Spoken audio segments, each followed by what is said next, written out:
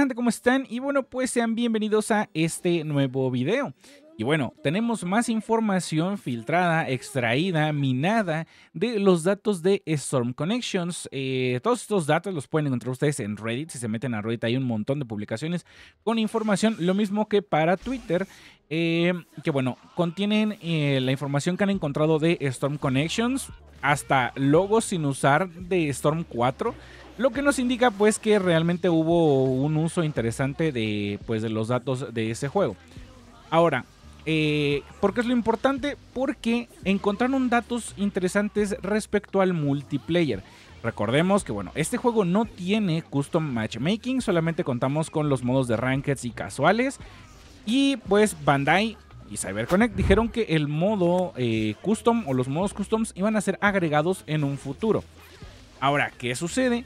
Pues que se encontraron estas dos imágenes, estos dos datos dentro de todo este, esta situación de, de archivos y es un mapa que de hecho ya se había rumorado en algún momento sobre eh, batallas o campos de batalla ninja de un posible DLC.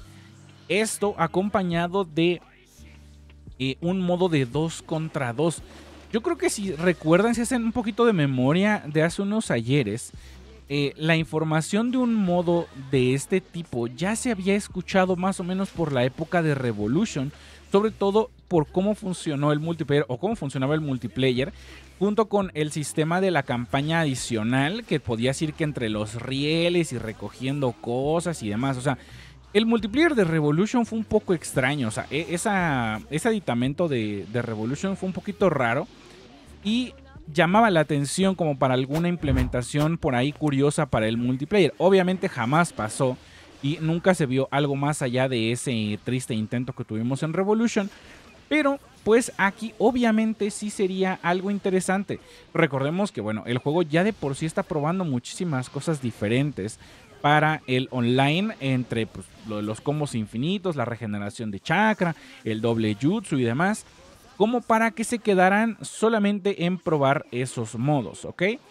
Y pues les digo, aquí están lo de la, lo de la imagen de este 2 contra 2.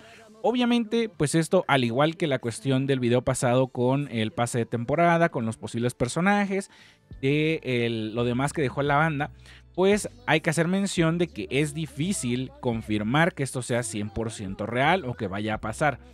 Pero sí deja como un, pequeño, un poquillo mar de dudas ahí respecto a por qué los archivos siguen estando dentro del juego o se manejan eh, de esa manera y no fueron completamente eliminados, sabiendo que la gente podría encontrarlos de cierta manera o relativamente fácil. No es que les tomara mucho tiempo, de hecho el juego ni siquiera había salido de manera oficial, tal cual, sino que estaban con las copias de la prensa, quienes tuvieron acceso a estos y pudieron hacer la investigación pertinente de los datos. Entonces, creo que desde ese momento ya más o menos te puedes ir haciendo la idea de por qué estos archivos quedaron en el juego. Ahora, Tristemente, hay ocasiones donde los archivos están en el juego y obviamente no son utilizados, como lo, que les comentaba del logo, del logo de Storm 4, que tampoco fue utilizado. Pero, pues al menos nos da una posibilidad por ahí de, eh, de, lo que podemos esperar para los modos multiplayer. La verdad es que pensándolo bien, no sería la primera vez que implementarían eh, un 2 contra 2 en un juego de Naruto. Ojo, no un juego de Bandai o CyberConnect, pero sí un juego de Naruto. Y es que Naruto de Broken Bonds, eh, uno de los primeros juegos que hicieron de consolas de Xbox 360 eh, de Naruto, sí tenía un modo de pelea 2 contra 2, donde las barras de vida eran independientes y en acciones de refuerzo que involucraran un lanzamiento fuera, es decir, como cuando sacas volando un enemigo con un golpe, en ese momento tú podías pedir el cambio de ahora sí que el cambio de a tu aliado. ¿Ok? Esto obviamente a veces no era tan conveniente porque la gente quería seguir jugando y les metían un cambio y demás. Porque había de dos. O sea, tú pedías el cambio para tu compañero o tu compañero pedía el cambio en este tipo de, eventos. La verdad, no tengo muy fresca la situación porque hace muchísimos años ese juego es del 2009, si no me equivoco. Entonces no tengo tan fresca la situación de cómo estaba funcionando. Pero sí recuerdo que era un modo ciertamente curioso y sobre todo entretenido.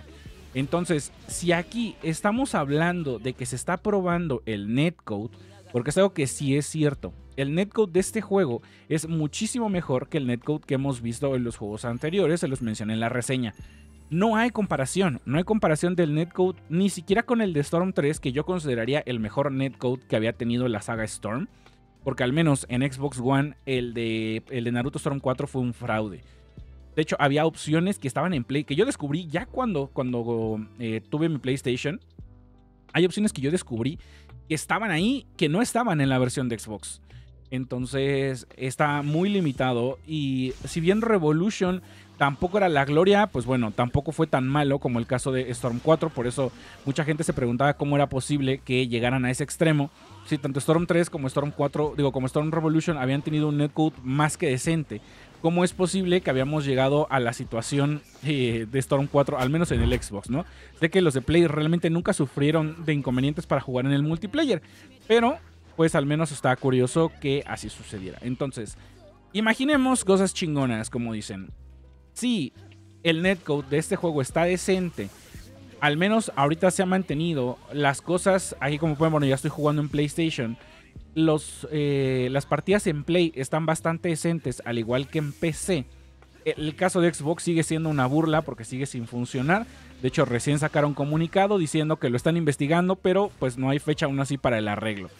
Entonces, este, si lo ponemos así y nos imaginamos unas, unas partidas que de por sí ya son frenéticas en un uno contra uno, imaginando un posible dos contra dos, no creo que sea una cuestión, digamos, tipo literalmente los, los cuatro personajes en pantalla porque sería un caos tremendo, pero sí interacciones que permitieran cambios entre uno y el otro lo que haría la verdad las peleas muy entretenidas. Lo único malo es que a falta de crossplay esto limitaría muchísimo las interacciones.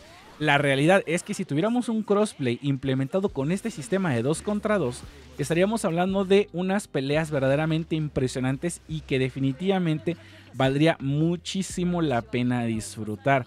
Desgraciadamente, pues bueno, ya queda ahí el dato que no tenemos crossplay y que nos tenemos que limitar un poquito a pues lo que nos deja eh, CyberConnect y, Bandai con estas posibilidades, pero sería llamativo e interesante. Me gustaría saber ustedes qué opinan acerca de estas filtraciones y la posibilidad de que pudiéramos enfrentarnos en partidas de 2 contra 2.